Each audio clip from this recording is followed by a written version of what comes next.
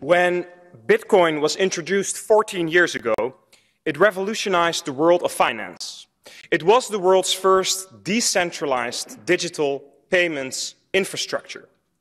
The underlying technology of Bitcoin still promises an endless potential of economic opportunity and freedom. And isn't it ironic that we are now talking about a centralized database controlled by government institutions? Why do we need a digital euro? We are already working on instant payments and digitalization of finance. Now, I was told that we need this so we can compete with China. Well, back in the day, we would counter communist China with policies of rollback or containment, not by copying it.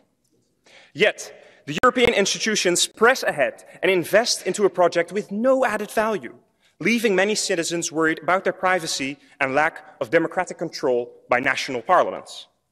Chair, the digital euro is a solution looking for a problem, and for now would be best left on ice.